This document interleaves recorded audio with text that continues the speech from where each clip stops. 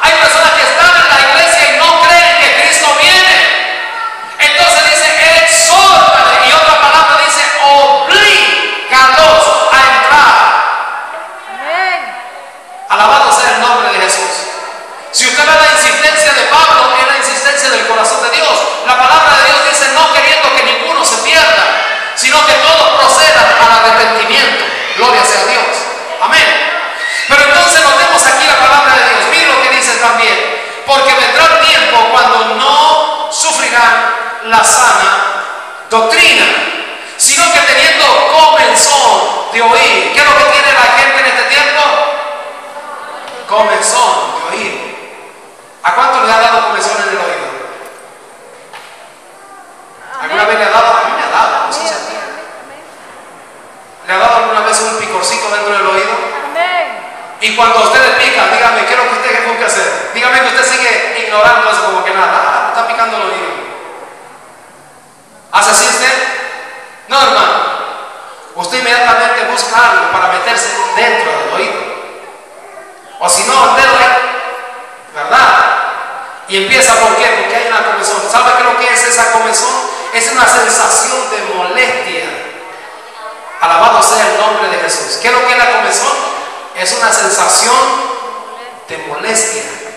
Y la palabra de Dios dice que viene el tiempo en que la palabra de Dios a los oídos de los que se pierden va a ser molesto.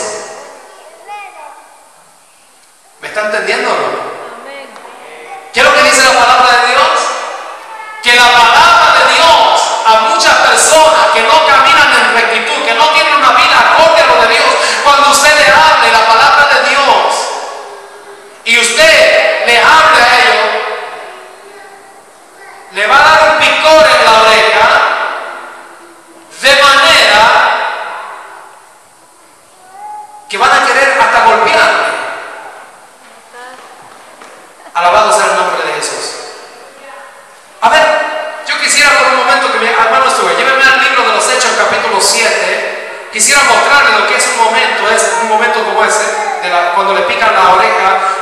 tienen ese picor en la oreja los, los incrédulos. Capítulo 7, versículo 51. A ver, vamos a ver si la iglesia me ayuda. Bendito sea el nombre de Jesús.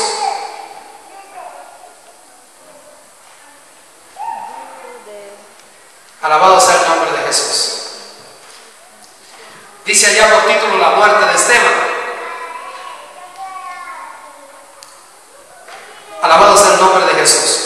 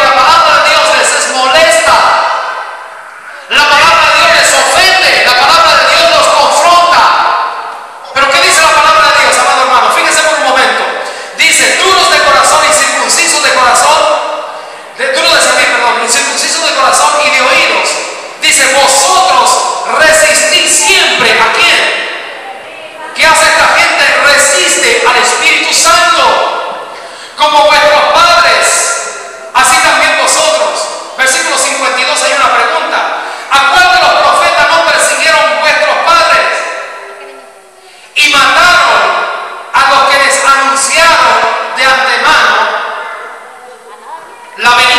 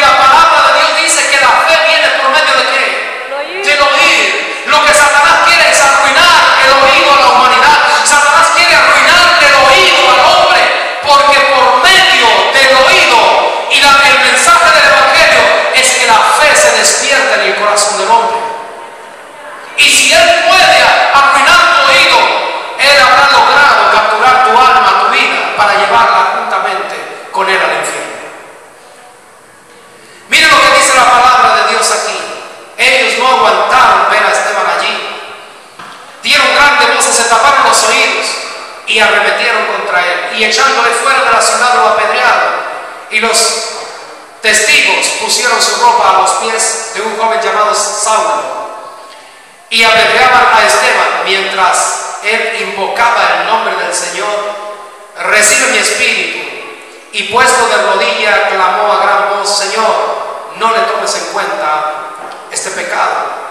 Y habiendo dicho esto, durmió, murió.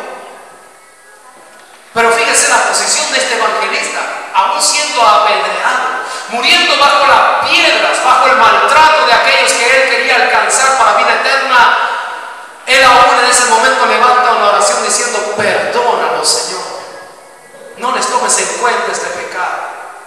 Alabado sea el nombre de Jesús.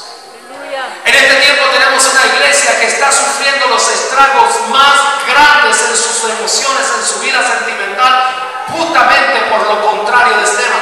¿Saben qué están haciendo? Están, tienen una falta de perdón enorme en corazones. No pueden perdonar a aquel que les dijo. No pueden perdonar a aquel que les hizo. Y si llegaran a morir, yo no creo que dijeran como Esteban. Quizás nosotros estuviéramos en el lecho de la muerte, estaríamos diciendo, Señor, recuérdate de eso y mándalo al infierno, aunque yo me muera. Alabado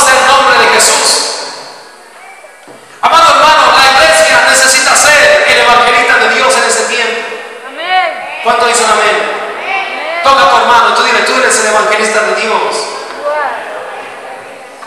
Vamos a pasar al libro de primera de Timoteo capítulo 4 también, mire, 4, 4. Pero en el libro de primera de Timoteo capítulo 4, alabado sea el nombre de Jesús.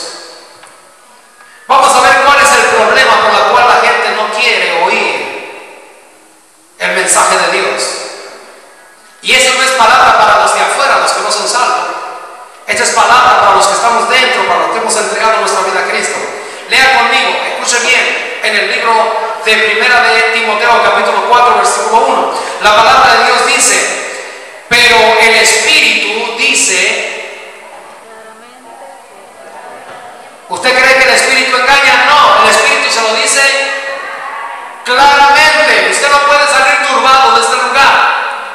El Espíritu dice claramente. ¿Qué es lo que dice claramente? Que en los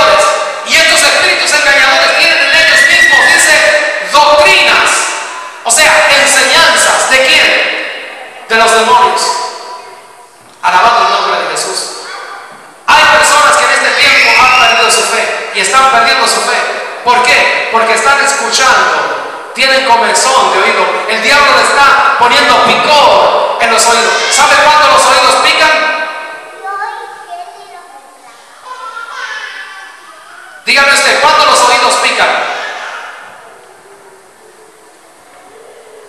Cuando hay infección. ¿Y por qué hay infección? Porque están sucios.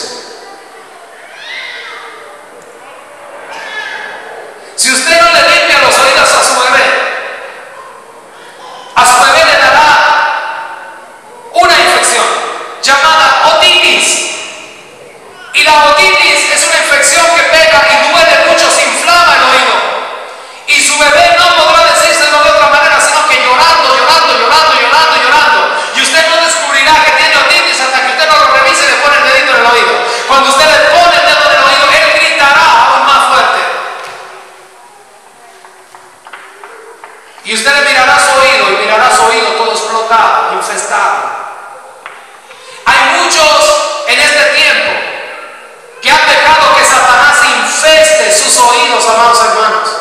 Mire, no sé si usted me pueda, en esta hora no quiero prolongar mucho el tiempo, no quiero que usted se duerma y se canse, pero quisiera por favor que entienda cuál es el problema que está aconteciendo hoy en el día, en este tiempo, en la humanidad y dentro de la iglesia mayormente. Hay muchos que tienen el oído infestado. Dios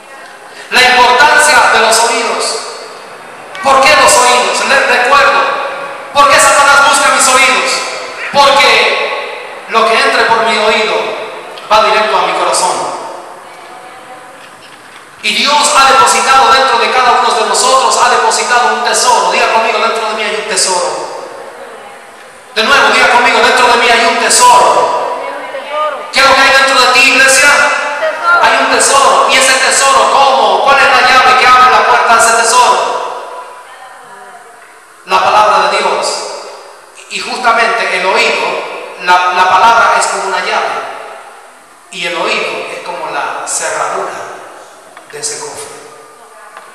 Y cuando la palabra entra como una llave y abre, metida en la cerradura, abre el cofre de tu corazón. Y allí está ese tesoro llamado fe. Aleluya. Y la fe, por gracia, soy salvos por medio de la fe. Y esto no es de nosotros, pues es un don de Dios. Alabado el nombre de Jesucristo. Satanás con razón busca tus oídos. Busca mis oídos. Usted note que cuando hay, hay personas que están hablando cosas sucias, están hablando comentarios obscenos, inmediatamente como que el oído quiere salir. Pero cuando hay alguien hablando de Dios, algo nuevo, es que la persona quiere oír. No quiere escuchar eso. Ese oído está infestado. Pero cuando hay un hombre y una mujer hablando de Dios y otros se acercan, es porque ese oído anhela, tiene deseo. Alabado sea el nombre de Jesús. Lea conmigo lo que la palabra de Dios dice. La palabra de Dios dice, mire, lea conmigo, ¿qué dice? A ver, yo creo que el pueblo, estoy finalizando, pero ayúdame. Dice, y matarás al carnero y tomarás de su sangre y la pondrás sobre los lóbulos de las orejas derechas de Aarón. ¿Qué tiene que ver esto? ¿Qué es lo que está haciendo Dios con su pueblo allí en la antigüedad? Matar una- un animalito, tomar la sangre y con la sangre del animalito pintarle el lóbulo. Este es el lóbulo, tóquese su lóbulo. El lóbulo de su oreja derecha. Dice, píntaselo con sangre. ¿Qué está queriendo hacer Dios con eso? Vamos a ver qué más dice. Dice, sobre el lóbulo de la oreja de sus hijos, también trae a sus hijos y ponle la sangre del animalito en la oreja de sus hijos. Ahora, ¿qué más dice la palabra? Dice después sobre el, pul- el dedo pulgar de la mano derecha de ellos y sobre el pulgar de sus pies derecho de ellos y rociarás la sangre sobre el altar alrededor. Todos sabemos que en la antigüedad todo esto era simbolismo de quién? De la sangre de quién? De Jesucristo. Amén. Es el simbolismo de la sangre. Pero mire, tres puntos indicativos donde no puede faltar la sangre. En este tiempo no la sangre de un macho cabrío, sino la sangre del Cordero de Dios. Diga conmigo, Señor, pon tu sangre donde? En mis oídos. Señor, pon tu sangre donde? En mi pulgar. ¿Por qué dice en mi pulgar, Señor, si yo tengo más dedos? ¿Por qué solamente en mi pulgar? Porque crea o no, el pulgar es el dedo más importante de su mano. ¿Cuánto dicen amén? Mire, a usted le puede faltar cualquier dedo de estos los cuatro. Pero si a usted le falta esto, esa mano queda inútil. Alabado el nombre de Jesús. ¿Por qué de la mano? Porque significa que con la mano es lo que nosotros, mire, el dedo pulgar, ¿qué le permite hacer con la mano? ¿Qué le permite hacer con la mano? palpar, tocar, Agarrar, tomar, poseer. ¿Se dio cuenta? Esto significa el poder del dedo, del dedo del pulgar, que le permite a usted poseer, apretar, adquirir, hacer. Es lo que usted adquiere diariamente. Que lo que usted agarre con su mano, que usted traiga para usted, para lo suyo, esté siempre bajo el poder de la sangre de Cristo. Que usted no ande tomando por ahí lo que es del diablo, que usted no ande tomando porque todo lo que usted tome afectará su vida y afectará la vida de sus usted Alabado el nombre de Jesús. Y también le dice, por favor, úngele el pulgar de su dedo de su pie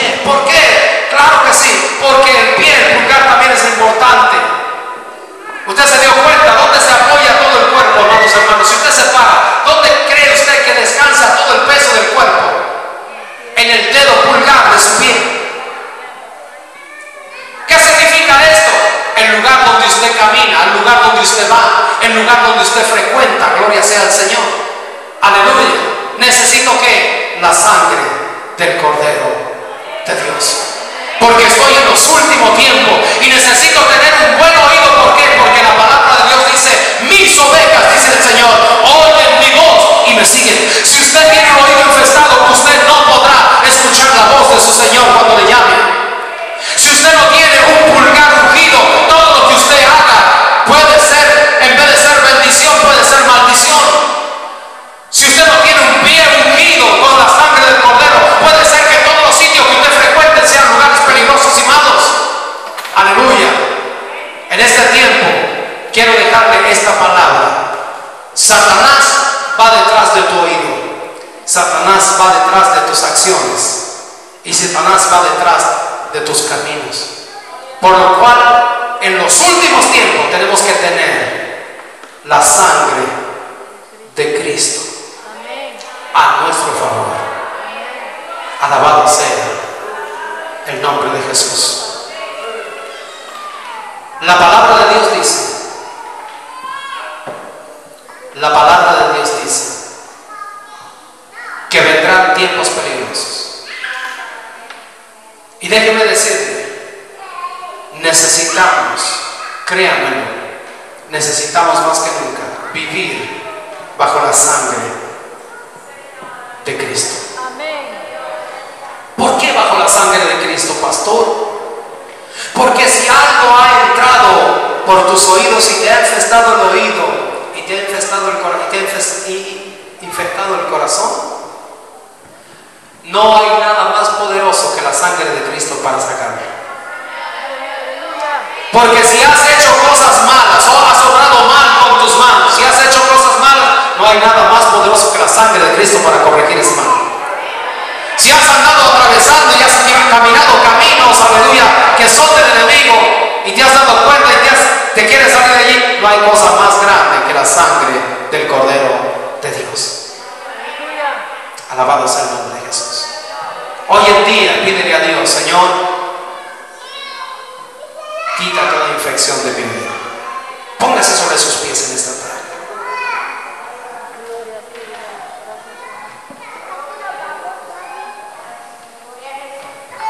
Yo quiero que levantemos una oración a Dios. Y usted le diga, Señor,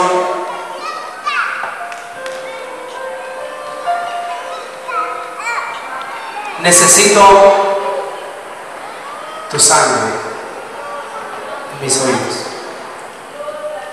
Si Dios te está hablando y te cuesta, te cuesta obedecer la palabra de Dios, tú necesitas sangre, la sangre de Dios en tus oídos. Cristo quiere darte de su sangre. Pero hay un grupo que necesita escuchar